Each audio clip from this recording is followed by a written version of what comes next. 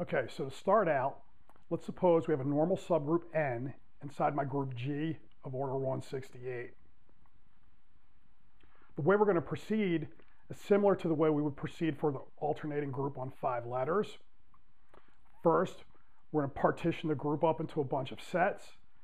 We'll compute the order of each of those sets, and then we'll show that there's no way to add those sets up in a way that divides the order of the group. That way, there'll be no way to get a subgroup that's normal that also divides the order of the group. So let's review. I have my normal subgroup N inside of G. We're going to consider the conjugacy classes of X inside of G for a fixed element X. So if it helps, suppose X is inside of N. By definition, we're going to take all conjugates of X when we conjugate by G inside of the big group G. Since X is inside the normal group N, when I conjugate, I get another element inside of N, which means the whole entire conjugacy class winds up falling inside of N also. Do a little bit of review in a second, but the punchline is the CX partition N, and then we know that the order of N, the number of elements in N, will have to be equal to the sum of the orders of each conjugacy class as long as we count each conjugacy class exactly once. Okay, that's important formula number one.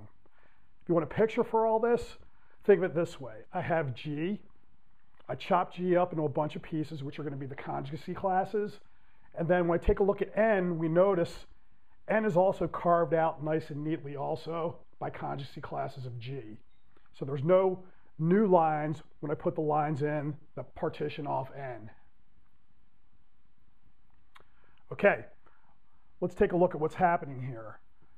Conjugation and conjugacy classes correspond to group actions and orbits. So conjugation is just another group action of the group G on itself. Okay, so group action corresponds to conjugation. We have orbits of X. Remember, the orbit is just what happens if I fix a point X let all elements of G act on it.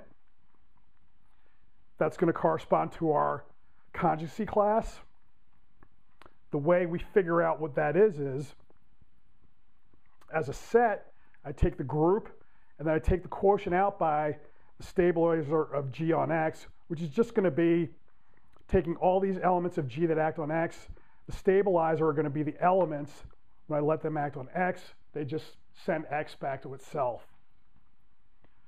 For conjugation, the stabilizer of X inside of G is just going to be the centralizer of X.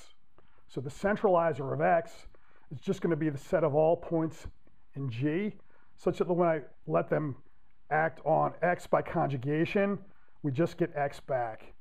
If I move G to the other side on the right, we notice we get Gx equal to X times G, and that's what it means to commute. Just doesn't matter what order you multiply x and g in. Now, using this little rule here, the conjugacy class corresponds to the orbit. The orbit can be thought of as a coset space. So when I count the number of elements in the conjugacy class, I'm just looking at the number of elements in G divided by the number of elements in the stabilizer. But the stabilizer is the centralizer, so I get my second important formula, which is the number of elements in the conjugacy class of X equals the number of elements in G divided by the number of elements in the centralizer of X. With our conjugacy class formulas worked out, now let's take a look at characteristic polynomials and minimal polynomials. So if I'm given a matrix A, its characteristic polynomials defined by taking variable x times the identity matrix minus a, then take the determinant of that. Okay, so this is going to be an invariant we attach to a matrix A that's going to tell us a lot about special properties of A. So this brings in a lot of linear algebra. Okay, one thing we have is if the matrix A is conjugate to the matrix B, then they're going to have the same characteristic polynomial. So if I wanted to check whether two matrices were conjugate or not, I could check the characteristic polynomials. If they're different, then they can't be conjugate. Okay, if they're the same, they may or may not be conjugate. We'd have to do a little bit more digging. Okay, so the way I'll use this, which I leave as an exercise, is that on conjugacy classes of matrices, all the elements are going to have the same characteristic polynomial. Okay, my next result. Once I have the characteristic polynomial, we get this nice result called the Cayley-Hamilton theorem. If I have my characteristic polynomial and I write it out, if wherever I have an x, I put my matrix A, the solution of this is always going to be the zero matrix. It's a pretty neat result. Work out a few examples and get a feel for it. Can actually use it in a lot of applications. So now let's move on to the minimal polynomial. So the minimal polynomial of the matrix A, what happens is we know that there is some polynomial such that if I put my matrix A in there, zero comes out. So that's going to mean that there's going to be a polynomial of smallest degree such that if I put my matrix in, zero comes out. It may not be the characteristic polynomial, might have a smaller degree than this. Okay, we can say a lot more, but we're not going to need much for this exercise, so I leave it there. Okay, one thing we do want to note, if A and B are conjugate, their minimal polynomials are going to be the same. And I leave that as an exercise. Again, if I take a look at the conjugacy class of A, every element inside of that conjugacy class will have the same minimal polynomial. So that way I can use the minimal polynomial to tell whether two conjugacy classes are not the same. Okay, if they have different minimal polynomials, then I know there's no overlap between those two sets. What are the characteristic polynomials that can occur for an A in SL3Z2? Since we're in SL3Z2, that means a determinant is equal to 1. So that's going to fix the constant term by polynomial. Since we're looking at 3 by 3 matrices, the first term is always going to be x cubed. So the only degrees of freedom that we can have are going to be on the x squared and the x term. Since we're in Z2, that means we have two possibilities there, two possibilities there, and thus four possibilities for the characteristic polynomial of a given A. Let's run through each case. So for the first case, where I just set all of them equal to 1, over Z2, this factors into x plus 1 cubed, which is the same as x minus 1 cubed. We write it this way so it highlights the fact that 1 is an eigenvalue. Since all the eigenvalues show up, that means Jordan form will apply, and then we've got three possibilities for the minimal polynomial. In my next case, we take a and b equal to 0, so I get x cubed plus 1. In this case, we could put the minus sign in there too, which will be good for our next board. I can factor, but I notice when I factor, it's not going to create anything too complicated, so it'll turn out the characteristic polynomial and the minimal polynomial are always going to be the same. For my last two cases, we'll have the same idea. These won't factor at all, so the minimal polynomial and the characteristic polynomial will be equal. For my case three, we let a be equal to 1, b be equal to 0. I change the minus signs for the next board. And then for case 4, we'll have a equal to 0, b equal to 1, and then we change the minus signs for the next board.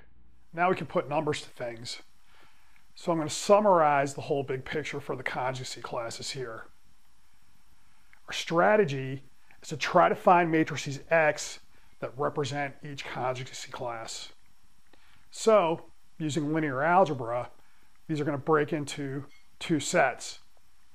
One set will be the Jordan forms, which are pretty easy to get a handle on.